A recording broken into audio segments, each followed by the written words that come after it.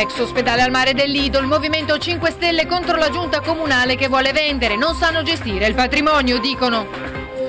Non si capisce bene eh, come eh, Orsoni, sindaco amministrativista da 600 mila euro all'anno, possa uh, eludere la legge in questo modo vergognoso. Grillini contro la giunta comunale sulla vendita dell'ex ospedale al mare del Lido alla Cassa Depositi e Prestiti. Si tratta, sostengono, di un'operazione illegale. La legge dice che possono essere venduti alla Cassa Depositi e Prestiti solo gli immobili ad uso non prevalentemente abitativo.